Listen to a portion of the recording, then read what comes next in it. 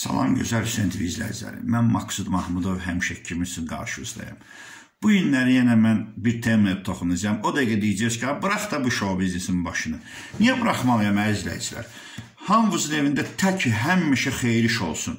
Hansı bir müğənniyə yaxınlaşanda bir 300 manat aşağı düşüb, ada onların bir bir qəpiyi bir tüküdür. Tarixi bu düşə bilməzlər. Hamımız bu ulduz kinosuna baxmışıq. Orada nə deyir? Zəhərli koramalmı daşın altındadır. Onu tapıb çıxarmaq lazımdır. Mən bu günləri həmin zəhərli koramallardan biri Azərbaycanın özünü məndən kraliça sayan, özünü ən gözəl xanım sayan, özü mən nə bilim nə sayan, nə sayan Məleykə Əsədova. Məleykə Əsədova. Mənim əlimə bir şəkil düşüb. Səhv eləmirəmsə siz əslən Neftçaladansınız, 67-ci ildəsiz. Bir dənə şəkil düşüb, həm cavanlıq şəkliniz, həm də indiki şəkil. Buyurun, izləyin. Məlikə Əsədova. Amma bir suyun kişiyə oxşayır, pis qəbul eləmə. Amma onu deyəcəm. Niyə belə gözəl oldunuz? Mənə də yüksək vəzifəli bir general maya qoysaydı, mən lap Alendelona oxşayardım. Bildin hardan deyirəm. Bu 44 gün Məlikə Əsədova 44 gün ikinci Qarabağ döyüşlərində hardaydın? Niyə kömək eləmədin? Niyə yardım eləmədin? Və yaxud şükür Allaha müharibə qutardı. Bu 44 gündən sonra nə qədər şəhid balalarımız var? 2783 nə qədər qazilərimiz var? 1800 nə qədərsə, yalan deyirəmsə üzr istəyirəm. İtkin düşənlərimiz Mələkə Əsədova hardasan?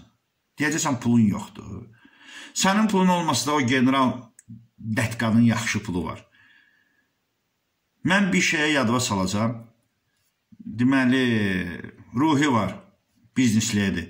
Mən ona da baxdım YouTube vasitəsilə. O necə gedib cəbhə bölgəsində əlini bu boyda ətin içinə qatışdırıb bizim əskər balalarımıza dolma pükürdü, kroklara ləbləblər tökürdü. Pulun yoxsa gəlib oyunda deyək, bir köməkçi kim ona kömək eləyəydim də. Ha, çeşitvə toxular, sən axı çox gözəl xanımsan. Gəl, ha, bir onu da deyəcəm. Günlərin bir günü səhv eləmirəmsə, e, sizi səhər verişinə çağırdılar televiziyaya. Ora gəldiniz, götürüb bir şən mahnı oxuyan kimi aparıcı qayıtdı ki, Məlikə xan, bilirsiniz bu gün nə günüdür?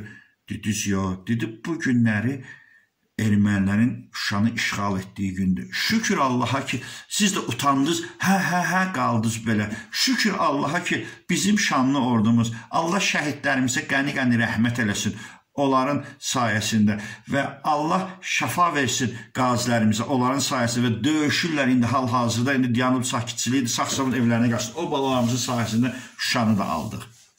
Hə, Məlikə Əsədova, bir şey yadıma salmaq istəyirəm. Hamımız bilirik ki, rusetdə olanlar belə bir şey var. Muj na ças, bir saatlıq ər. Bu nə deməkdir? Ərsiz qadınlara zəng edirlər, şirkət var ora, usta gəlir, e, kimin umvalniki, kimin televizoru, kiminin nəsə evdə bir xarab olursa onu düzəldirlər.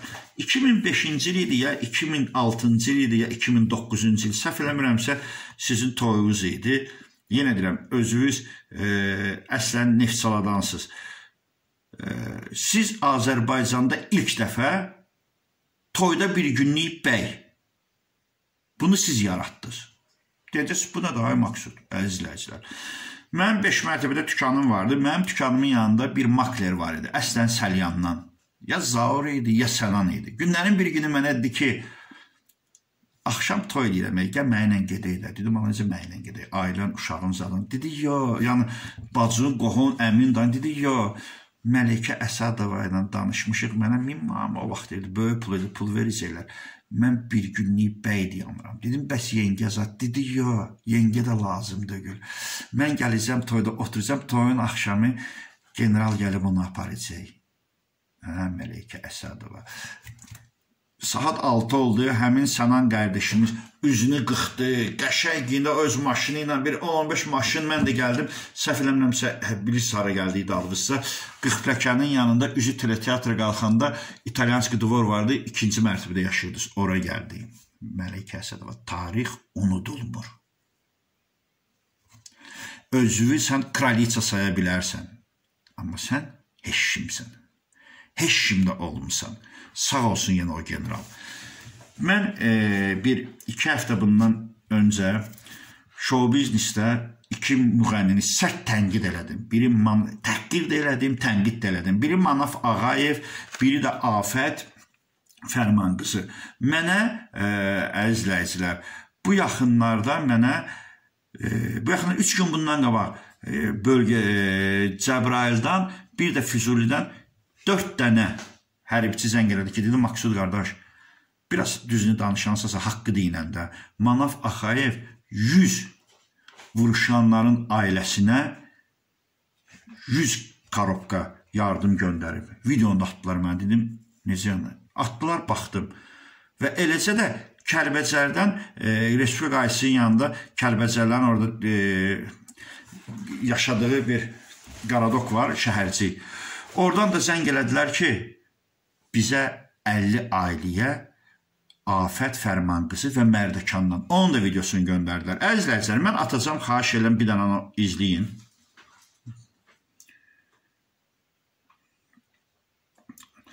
2 kilo ətli 100 dənə, 100 dənə də karobkadır. Hamısı produktlarla maşınlara yükləyir cəbhə bölgəsindən. Əgər Manaf Ağayevin mənim bugünkü bu çəkilişimdən xəbəri varsa, tövbə tövbə mən kişi deyiləm. Birdən elə bilərsən ki, Məleykə Əsədova, mən Manafdan qorxuram. Manafın nəyindən qorxmalıyam ha? Düzə düz demək lazımdır. Ağa ağ, qarıya qara. Deməli o bizim tənqiddən sonra, təhqirdən sonra əgər bunları eləyibsə sağ olsun. Və ən əsası həmin o Afət Fərman qızı 2 mebel maşını produktu korobkadan özü necə daşıyır. Doğrudan o mənə ləzzət elədi. Bu dəqiq onu da göstərəcəm əzizləyicilər sizə.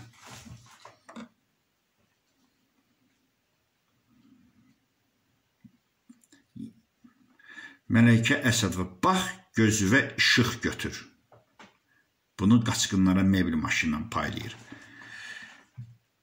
Hə, Mələkə Əsədova, sizi kimi özünü kraliça salıb xalq artistindənsə, lütfü biz tənqid eləyək. Sonra o tənqidə oturub fikirləşib, gedib döyüş bölgəsindən şəhid olan qazilər, şəhid olan balaların ailəsinə və qazilərin evlərinə sadə belə müğənni kimi olub kömək edənlər min dəfə sizi kimi xalq artistlərindən yaxşıdır. Sonda yenə Məleykə Əsədova mən sizin cavanlıq şəklini qoyacam ki, keçmişinizi unutmayın. Yenə Allah o generalın canını sağ eləsin. Sağ olun əzizləyicilər.